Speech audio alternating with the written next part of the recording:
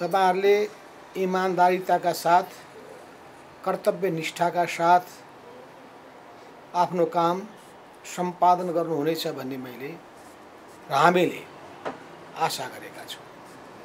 त्यसो हुनाले इमान्दारिता र कर्तव्यनिष्ठाको भावनालाई सर्वोपरि राखेर आफ्नो कार्य सम्पादन गर्ने कुरामा तपाईँहरूको ध्यान म आकर्षित गर्न चाहन्छु।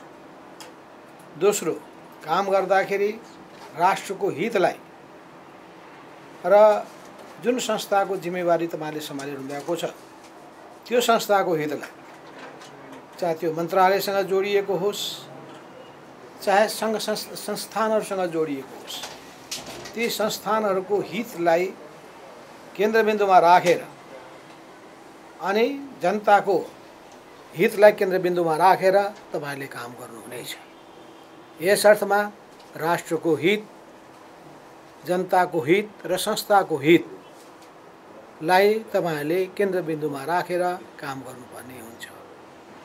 तेस्रो काम गर्दाखेरि निजी स्वार्थ अनियमितता र भ्रष्टाचार जन्य प्रवृत्तिहरूबाट तपाईँहरू मुक्त हुनुपर्छ त्यहाँबाट टाढा रहनुपर्छ। यो तेस्रो कुरामा मैले जोड दिन चाहेको छु। चौथो कुरा आफ्नो योग्यता र क्षमता र कार्य सम्पादनमा उत्कृष्टताको आधारमा नै कुनै पनि व्यक्तिको छनौट गर्ने र जिम्मेवारी दिने कुरामा तपाईँहरू लाग्नुहुनेछ र यसरी व्यक्तिको छनौट आफू खुसी आफूलाई हित हुने कुरालाई होइन।